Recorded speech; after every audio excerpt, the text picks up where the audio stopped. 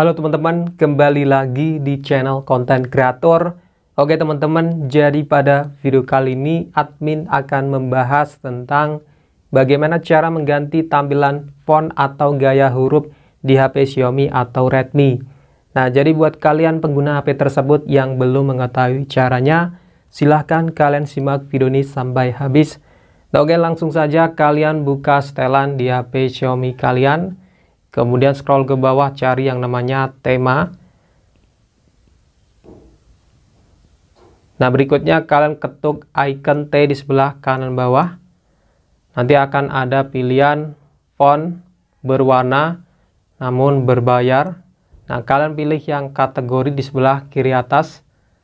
Nah, kalian bisa pilih gaya font mana tanpa harus yaitu berbayar.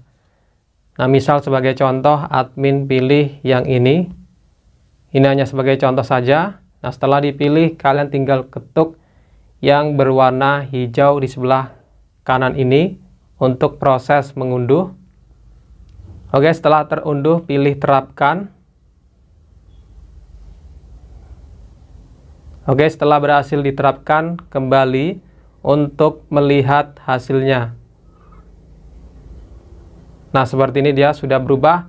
Nah, untuk cara yang kedua, kalian bisa melalui aplikasi tema, aplikasi bawaan HP Xiaomi atau Redmi. Nah, berikutnya ketuk icon T di sebelah kanan bawah. Nah, kalian pilih yang kategori. Nah, teman-teman bisa menggunakan cara yang pertama ataupun cara yang kedua.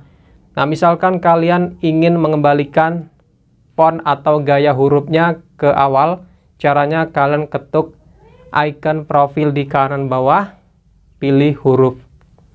Nah, kalian bisa pilih gaya huruf default atau bawaan, biasanya yang paling atas, tinggal kalian pilih dan terapkan.